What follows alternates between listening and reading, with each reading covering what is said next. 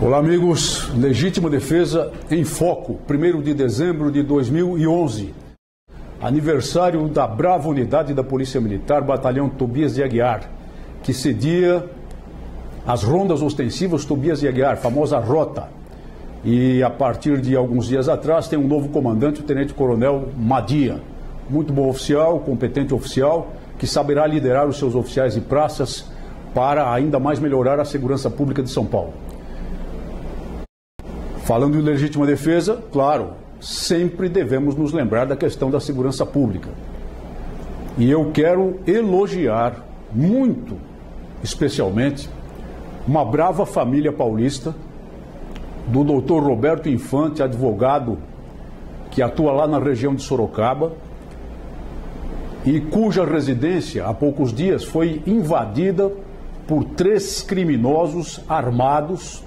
Enquanto o doutor Roberto não estava, mas estavam em casa a esposa dele e um filho, que é atirador e tem experiência militar, e se viram frente a frente com a invasão decidida de três criminosos armados, como eu disse, que não se intimidaram com o fato de que a esposa do doutor Roberto corajosamente gritou para eles, enquanto eles invadiam o quintal, que ela já os tinha visto e estava ligando para a polícia militar. Avançaram mesmo assim, armados, sabe-se lá o que iam fazer naquela casa, porque a partir do momento em que o criminoso domina a situação, o criminoso covarde, como sempre é, domina a situação, tudo pode acontecer. As pessoas ficam à mercê dessa gente. É gente, claro, não podemos negar a qualidade humana a eles. Violência sexual é comum nesse tipo de, de invasão. Humilhações, vilipêndios, além da perda material, são normalmente o resultado desses atos. Pois bem, Dr. Roberto Infante também é atirador, tem armas em casa. O filho dele muniu-se de uma arma do pai e enfrentou frente a frente os três criminosos armados disparou a arma com precisão, derrubou um deles, que veio a morrer, feriu um outro e um terceiro se pôs em fuga. Impediu, portanto, o roubo, impediu, portanto, as violências que poderiam ter sido praticadas contra a sua família, muito especialmente as violências que poderiam ter sido praticadas contra a senhora sua mãe, e mostrou aquilo que nós gostaríamos de ver com mais frequência. Mostrou a têmpera do brasileiro que não se curva à criminalidade e que, quando necessário, e estando habilitado para isso nos termos da lei, pode prover a sua própria defesa. A Polícia Militar não estava? Estava. A Polícia Militar foi acionada por um vizinho depois que o vizinho ouviu um disparo e chegou rapidamente ao local. Mas, se não tivesse havido um disparo que resultou do enfrentamento, que resultou do fato de que o filho do Dr. Roberto se recusou a ser vitimizado, muito provavelmente os bandidos teriam entrado e dominado silenciosamente a família para fazer todas as barbaridades que quisessem. Este é um exemplo, entre tantos outros, de legítima defesa bem-sucedida por parte de cidadãos comuns. E aí não estamos falando, falando de policiais, por parte de cidadãos comuns. Na verdade, os fatos são muitos. Mas a maior parte das pessoas repele o roubo logo no seu início, ou frustra o roubo logo no seu início, e evidentemente acaba não indo às delegacias de polícia para registro, a fim de evitar exatamente os problemas que a burocracia e que o sistema acabam criando em relação às pessoas honestas, às pessoas de bem, às pessoas sem antecedentes criminais, que têm a posse mansa e pacífica de armas de fogo para a sua defesa, para a defesa do lar e que fazem uso dela quando necessário. Em muitos desses casos, só o empunhar da arma, só a reação oposta à ação criminosa frustra o roubo à mão armada, frustra a violência do criminoso no nascedouro. Nem ocorre uma troca de tiros, nem ocorre um tiroteio, nem ocorre um ferimento.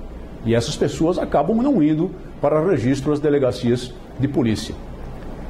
Mas dia menos dia nós vamos ter uma estatística mais confiável nesse sentido no nosso país. Mas lembro sempre que muito provavelmente não haverá muita diferença em relação àquilo que ocorre nos Estados Unidos, embora lá, exatamente por causa da agressividade dos criminosos e por causa da decisão, da disposição das pessoas de se defender, de não se tornar cordeiros vítima dos vítimas dos lobos, o fato é que, repito, estatísticas sérias mostram isso, estatísticas do Federal Bureau of Investigation, FBI, mostradas no livro America Fights Back, mostram que os cidadãos comuns matam mais criminosos reagindo ao crime do que a própria força policial. Repito, nós não advogamos violência. Nós advogamos sim que as pessoas possam se defender. Nós lutamos para que o Brasil não seja emasculado. Nós lutamos para que as pessoas que têm disposição de se defender, tenham preparo técnico e psicológico, possam fazê-lo nas situações limite, quando lhe faltar de imediato o auxílio da força policial. Esse é um direito dos brasileiros e é um direito de qualquer pessoa de bem em qualquer parte do mundo. Então, os meus cumprimentos ao doutor Roberto Infante e à sua brava família, que dão esse exemplo de civismo, de civismo armado nas circunstâncias, porque foi necessário, ao Brasil. Nós tivemos, na semana passada, na sexta-feira, num horário muito ruim, marcado para as 18 horas, uma audiência pública na Assembleia Legislativa do Estado de São Paulo. Ela foi anunciada no site pela Legítima Defesa, todos tomaram conhecimento e eu mesmo passei pelo menos uns mil e-mails aos meus correspondentes da Legítima Defesa sobre essa audiência pública. Fomos lá.